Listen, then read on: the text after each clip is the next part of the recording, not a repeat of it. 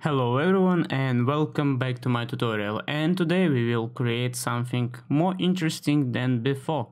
So uh, I find this picture in internet of course and I find this picture really interesting, I mean concept. So what I find here interesting, actually this roof.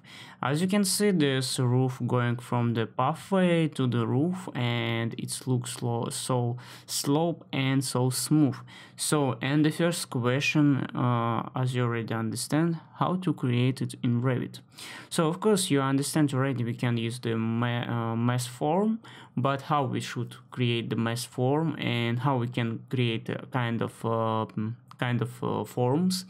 Uh, for example, sometimes uh, we can use the wall going to the path. I will show you today. So let's get started. And the first thing, as always, I'm going to the Revit, I'm creating the new project. You can use the standard template or you can use my own template, which uh, for, for, you can get for free under any video in my YouTube channel. So, but for this project, it doesn't matter which one I'm using template. So let's go to the south view straight away and we will create now reference plane. So let's create the one reference plane here and, oh, I want straight reference plane like this and let's create the second one reference plane for example uh, right here. Something like that I will do. Uh, so it's around 8 meters uh, pretty, pretty enough I think. So and we will change the name of this uh, of this reference mm, reference line. Let's change it to the top and this one to the bottom as you understand. uh, Uh, now we will uh, switch our view to the uh, side view and let's create here the some geometry. Let's go to the mass and side, switch or switch on the mass and mass in place okay, let's say okay and straight away we are going to the spline. I will use the spline now, I will change uh, placement plane to the uh, bottom because I want to draw this line on the, on, uh, on the bottom. And as you can see this is my uh, reference plane. Uh, let's let's draw something interesting. Like I will draw something like this. This is will be my wall my wall turning to the my path and tata here is will be already pathway. Uh, let's do the same thing but I will change to the top. So again it's going like this now it doesn't matter how accurately you are drawing, because we can change it always, as, I, as I'm doing now actually. So this is will be pretty same, pretty same angle as you see, and now it will be going more far, far, and more far. Let's do it like this. Let's do it gently.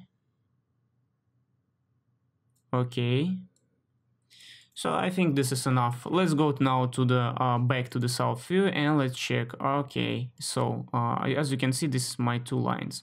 So what I'm gonna do now, I will show you in 3D. Let's go to 3D view and you can see here two lines and I'll select these two lines and create the form. As you can see we get kind of form. So as you can see this part is like a wall and this part it's going to the path. Yes I can continue to create it's totally flat but this is lesson not about how to create exactly the path. But you understand already uh, how you can do it. Uh, let's I'll change view to the shaded one to properly see what's going on here. Uh, I will select this uh, plane and what I will do the second thing I will create the surface. So this is my surface and now I will change type of the pattern. I will change to the one to the half. So something like this. Let's change the numbers. It's we will leave like 15 here and maybe 25 in this side.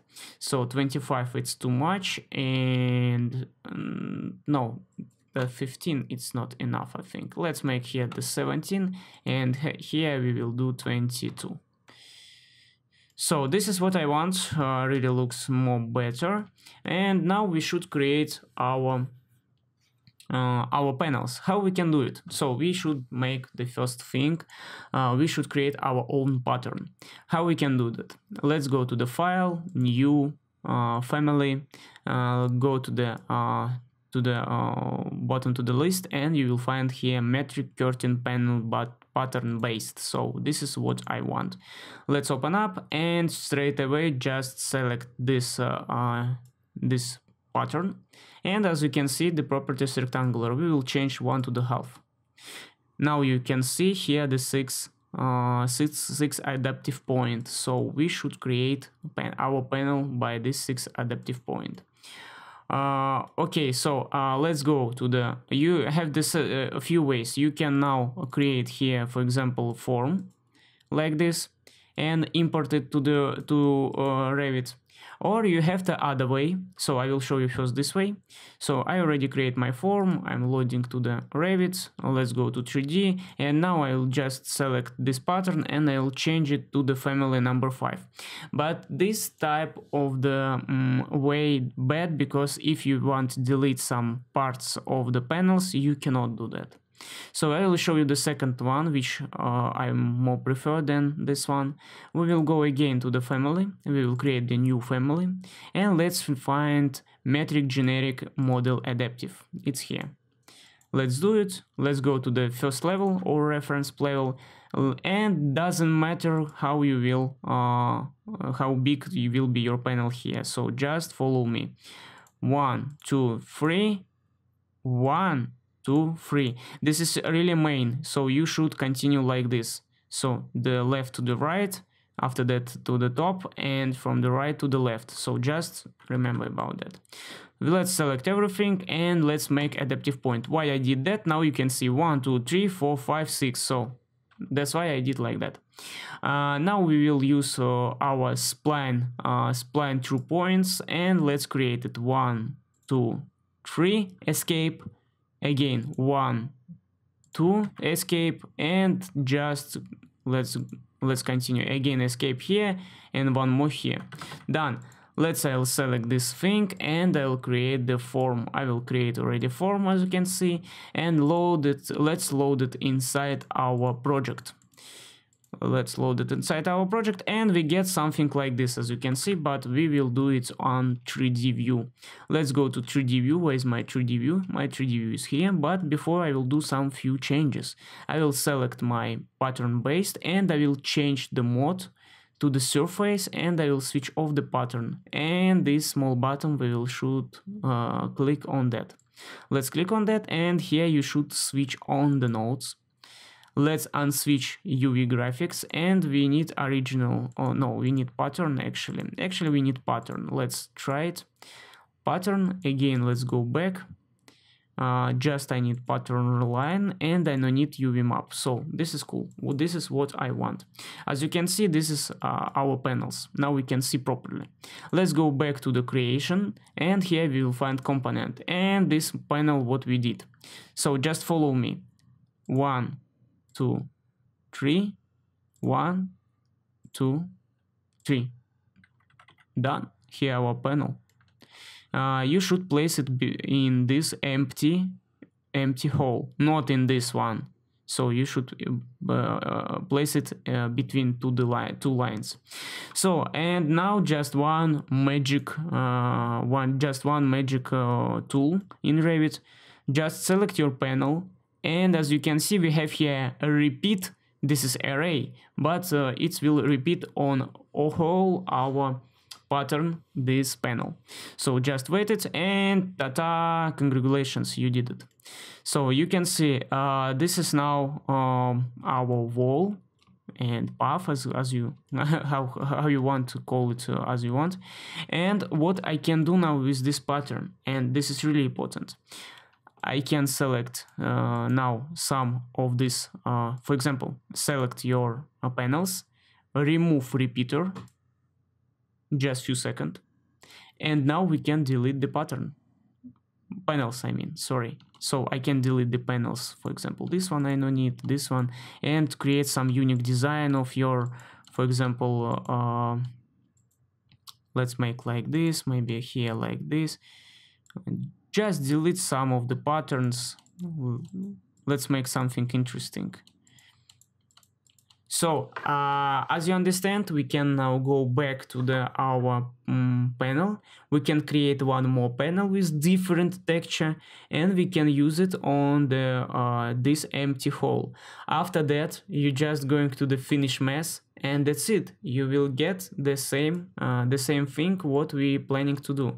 So let's go back to the massing and just switch off our mass now I will go to the visibility graphics and I will switch off it here as you can see we get clear our geometry in Revit and this all things this is panels. You can delete it even or you can select it even here and get some parameters as you can see.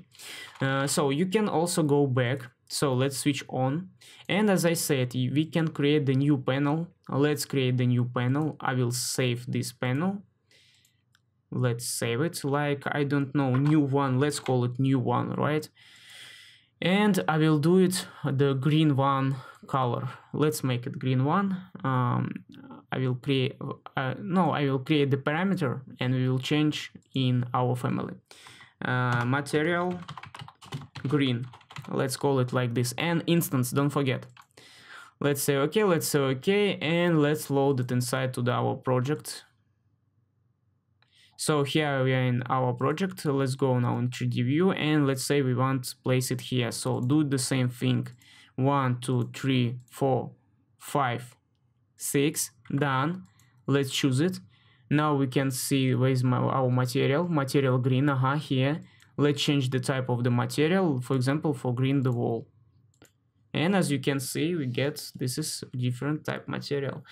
So this is one of the way how you can create some interesting uh, some interesting thing uh, what uh, you what you see before in this when I started this video.